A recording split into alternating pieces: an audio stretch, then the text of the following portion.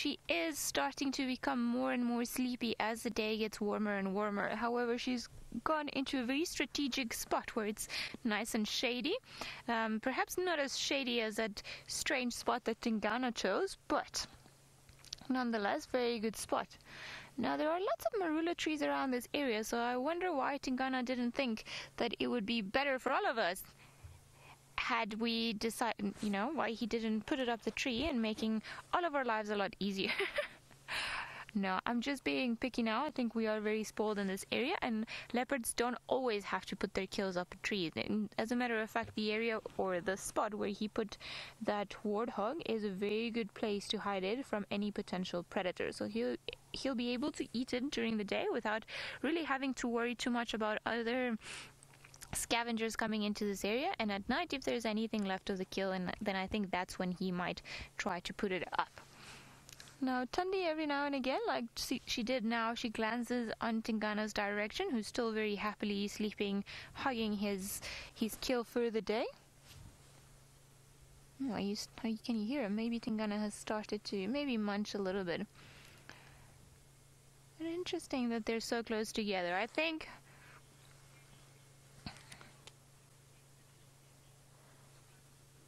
Sammy, Jamie, you're wondering how long before they finish their kill. Well, I think it would probably take Tingana a day to finish that warthog piglet that he's got. The It's not one of the biggest ones that I've seen, but it's definitely a good meal for him um, as one male leopard. Now, um, I am still puzzled because leopards don't normally share kills. It's not something like the lions do where one will catch something and then the other pride members will come and share it.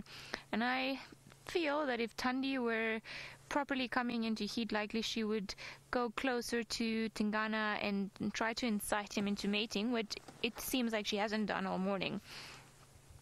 So I am wondering what all of this is at and about. Very interesting. I love it how the leopard world, every everything that you read in a textbook, all of a sudden, if you spend enough time out there, there will be someone that will just change things up, things up and spice them up and just make you doubt everything you've ever read before.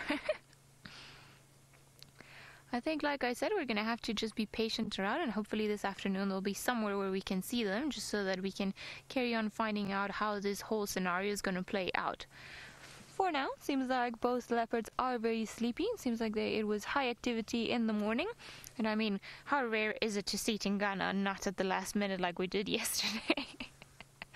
So he has been steadily moving. We found him at Buffelshoek Dam, which is pretty much the most eastern corner of Djuma, and he still had to carry on walking east and south from where he was to get all the way here. So I think he's earned a well-deserved rest after probably patrolling and making a kill. And Tandi, we haven't seen her for the last few days.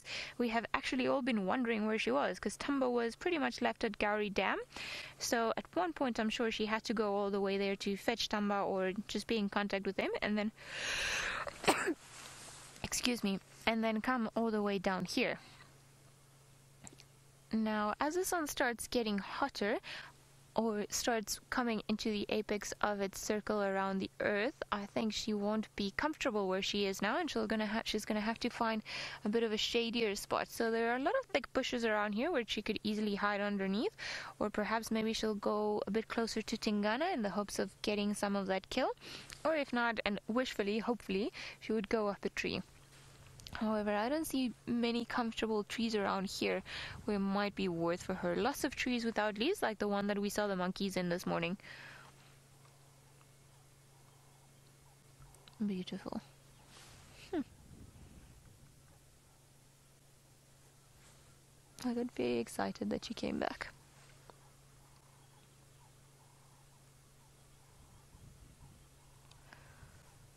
No, I don't hear anything coming from Tingana's direction, so I think he's probably sleeping too.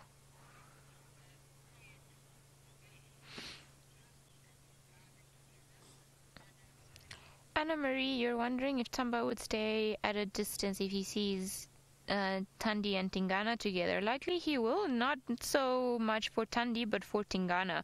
I don't know, like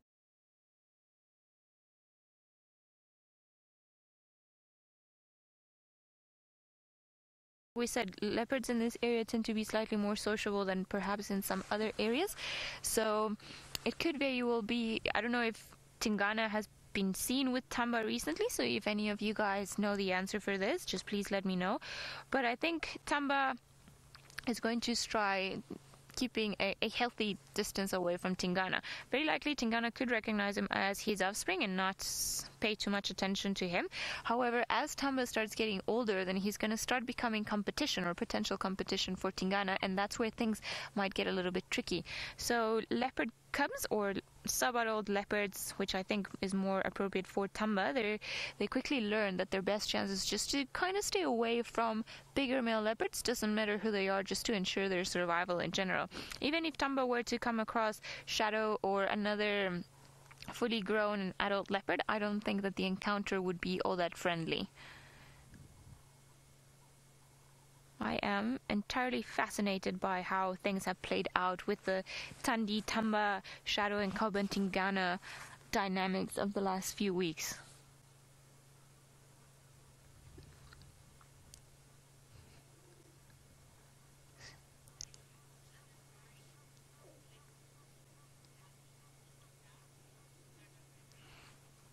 Anna Marie, you're wondering if leopards would also catch and eat bats. Is that correct, Megan? Bats. Well, if they if they could, or if they manage to grab them, leopards are opportunistic, so they will very likely eat them. However, I don't think they would spend too much time trying to catch the bats unless they found a roosting point for them and try to get them directly from the tree. Likely, they would go for more conventional things that they are a bit more skilled at hunting. But you never know. Leopards can always surprise you, especially older leopards. They sometimes get quite creative when it comes to finding new food sources. Oh, Tandi, you're so pretty. Sleeping very tightly there.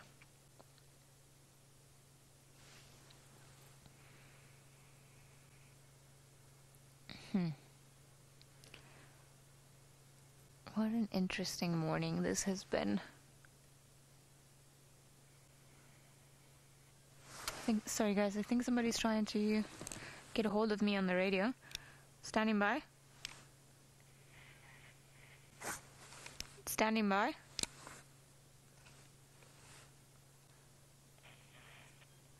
Yeah, the Zingulok is still running. There's Tingana and Tandi.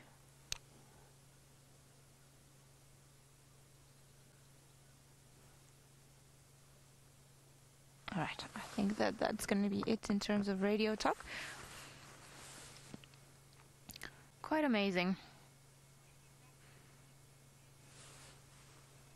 It seems like Taylor's enjoying the feather friends today, so let's go over to her and see if perhaps she can find us a spotted bird.